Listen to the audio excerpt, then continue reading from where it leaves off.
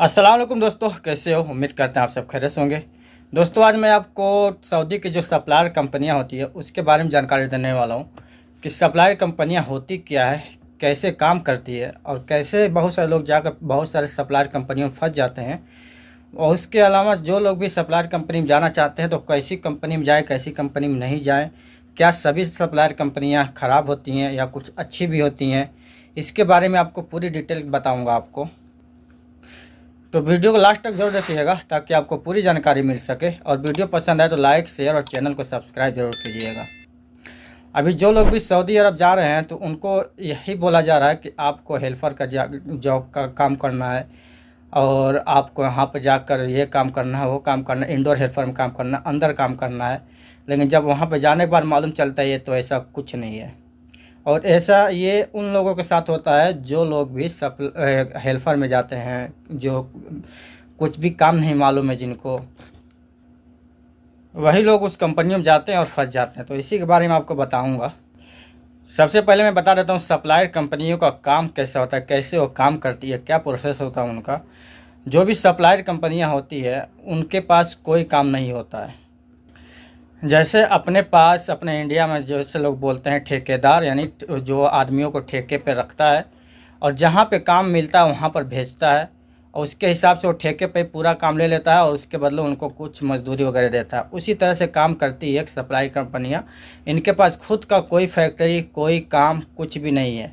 ये लोग बस दूसरे कंपनियों के ऊपर डिपेंड कराती हैं। ये लोग आदमियों को सऊदी सऊदी बुलाते हैं, हायर करते हैं इंडिया से, पाकिस्तान से, बांग्लादेश से, फिर उनकी सैलरी लगाते हैं हज़ार बारह सौ, जो भी लगा दें आठ सौ, जो भी लगा दें, लगा देते हैं और उसके बाद से जहाँ पे ये लोग काम करने के लिए भेजते हैं, वहाँ से ये लोग ठेके पे काम उठा लेते हैं या फिर एक लेबर का तीन हज़ार, चार हज़ार, जो भी बनता है, वो ले, लगाते हैं और बाकी सारा पैसा अपने ले लेते हैं। यानी ये लोग आदमी को बुलाते हैं और उस आदमियों से ये लोग पैसा कमाते हैं, ना कि कोई काम है इनके पास, कोई कंपनी भी नहीं कोई काम भी नहीं है।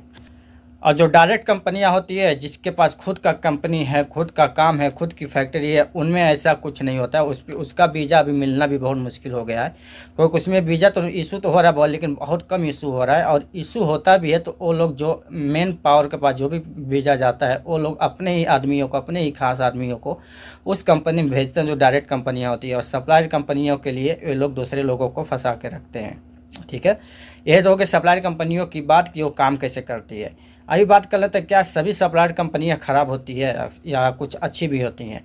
देखिए, जिसमें, इसमें से कम से कम सत्तर से अस्सी परसेंट सप्लायर कंपनियाँ बेकार ही होती है वो अच्छी नहीं होती है। तीस से बीस परसेंट ही ऐसी हैं जो अच्छी भी होती हैं। क्योंकि बहुत सारे सप्लायर कंपनियाँ हैं जो बहुत अच्छा काम करती है, उनके पास हमेशा काम रहता है, हमेशा वर्करों को ख्याल भी रखती है, उनका हक भी नहीं मारती सैलरी भी टाइम पे देती है, चाहे काम हो, चाहे ना हो उनके पास। ठीक है ना? तो ऐसे कंपनी में जा सकते हैं, कोई दिक्कत नहीं है। लेकिन जो सत्तर परसेंट कंपनियाँ हैं सप्लायर वो बहुत बेकार होती हैं। उनके पास काम भी नहीं रहता। जब काम नहीं रहता तो लोगों को क्या करती है? रूम पर बिठा देती है, खाने का भी पैसा नहीं देती है, ना सैलरी देती है।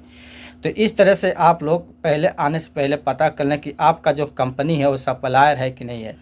और सप्लायर है भी तो किस कैटेगरी में आती है? वो अच्छी सप्लायर कंपनी है या फिर बुरी सप्लायर कंपनी है? इसके बारे में पता करना भी बहुत ज़्यादा मुश्किल नहीं है, आसान ही है, लेकिन ये पता तभी होगा आपको जब आपका वीज़ा स्टम्प हो जाएगा। आपके वीज़ा पे, पासपोर्ट पे वीज़ा की कॉपी मिल जाएगी। या फिर अभी तो ए फोर साइज़ का पेपर मिलेगा, और जब जैसे ही आपका वीज़ा स्टम्प होगा ऑनलाइन चेक करेंगे तो वैसे ही आपको पता चल जाएगा कि कंपनी सप्लायर कंपनी है कि नहीं है, और ये लोगों का पैसा खाती है कि नहीं खाती, अच्छी कंपनी है या फिर बेकार कंपनी है, आपको पता चलेगा। उससे पहले आपको पता नहीं चलेगा। तो इसीलिए आप लोगों से रिक्वेस्ट मैं हमेशा वीडियो में करता हूँ अब जब भी काम करवाएँ किसी भी ऑफ़िस से, किसी भी एजेंट से तो उसको पूरा पैसा पेमेंट ना करें। क्योंकि अगर आप उसको पैसा पूरा पेमेंट नहीं नहीं किए होंगे, जब आपका वीज़ा स्टम्प हो जाएगा तो आपको पता चल जाएगा कि कंपनी है कैसी, इस कंपनी में जाना चाहिए कि नहीं चाहिए। अगर आप आठ दस हज़ार रुपये ही उसको दिए होंगे तो आपको पता होने के बाद आप आपका पूरा पैसा बच जाएगा। फिर आपका जो आठ दस हज़ार रुपये नुकसान हुआ है वही नुकसान होगा।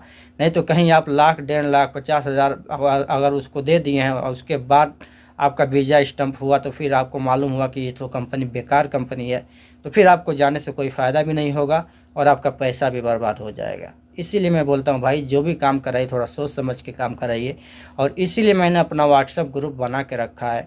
जिनको भी चाहिए तो आकर ज्वाइन हो सकते हैं, लेकिन फ़िलहाल के लिए ज्वाइनिंग बंद है व्हाट्सअप ग्रुप हमारे सात दिन के लिए, एक एक हफ़्ते के लिए।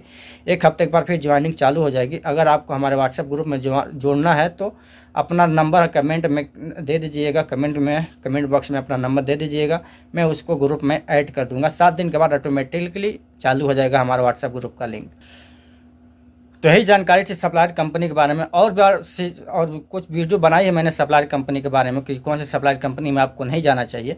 उसका लिस्ट आपको वीडियो का लिंक तो नहीं मिल दे पाऊँगा क्योंकि वीडियो बनाया हूँ मैं। अगर आप चाहें तो जाकर हमारे चैनल पे देख सकते हैं। कुछ महीना, डेढ़ महीना पहले बनाया हूँ तो उससे पहले जाएँगे तो आपको मिल जाएगा सप्लायर कंपनी के बारे में, ठीक है? क्योंकि जो लोग एजेंट लोग होते हैं, जो बेकार एजेंट होते हैं, उनको वो तो बताते हैं आपको, ऐसा काम करना होगा, इंडोर हेल्पर में काम करना होगा, यहाँ पे काम करना होगा, वहाँ पर काम करना होगा।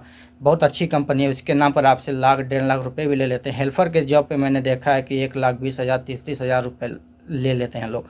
और जब सऊदी अरब जाते हैं तो मानने चलते हैं तो सप्लायर कंपनी है, बहुत बुरी कंपनी है। तो यहीं से धोखेबाज उसके चक्कर में नहीं पड़ना चाहिए। पहले तहकीकात कर लीजिए भाई, आप किस काम में जा रहे हैं, कंपनी आपकी अच्छी है या बुरी है, सारा पता करने के बाद यह पूरा पेमेंट कीजिए। मैं एक बार फिर आप लोगों से बोलता हूँ, आप लोगों को जो भी पेमेंट करना हो, सबसे पहले आप पेमेंट आठ से दस हज़ार रुपये ही करें, तब तक जब तक आपका वीज़ा स्टम्प ना हो जाए। चाहे वो आपका एजेंट, आपका ऑफ़िस वाला, आपके जान पहचान वाला ही क्यों ना हो, आपका भाई ही क्यों ना हो, आप उस पर भरोसा नहीं कर सकते। ठीक है वो आपसे मीठी मीठी बातें करेगा नहीं, आपके साथ ऐसा नहीं होगा, आपका काम बहुत अच्छा है, आप जाएँगे तो कोई दिक्कत नहीं होगी, कोई परेशानी होगी, नहीं होगी, लेकिन आपको मेरे भाई, रिक्वेस्ट है आपसे, अपना पैसे का ख्याल रखिए, क्योंकि पैसे बहुत मुश्किल से लग आते हैं आपके पास। हो सकता है आपने सऊदी अरब जाने के लिए किसी से ब्याज पे पैसे लिए हो, किसी से उधार पैसे लिए हो। और अगर आप ऐसी कंपनियों में जाकर फंस जाते हैं, वहाँ जाने के बाद आपको दिक्कत परेशानी होगी तो आप जो पैसा आप ब्याज पे लिए हैं, वो भी आपका पैसा बढ़ता चला जाएगा, आपके कर्ज बढ़ती जाएगी, आपका कर्ज ख़त्म नहीं हो पाएगा। तो इसलिए आपसे बोलता हूँ कि आप लोग जो भी काम करवाएँ, पहले पैसा की, पैसे की बात बिल्कुल भी ना करें। जिस भी ऑफ़िस में जाएँ, भाई पासपोर्ट रख लो, मेरा कोई दिक्कत नहीं है। लेकिन मैं पैसा आपको तभी दूँगा जब अब मैं, मेरा वीज़ा ऑनलाइन शो कर देगा स्टम्पिंग ऑनलाइन स्टम्पिंग चेक कर लूँगा मैं। कंपनी के बारे में जान लूँगा।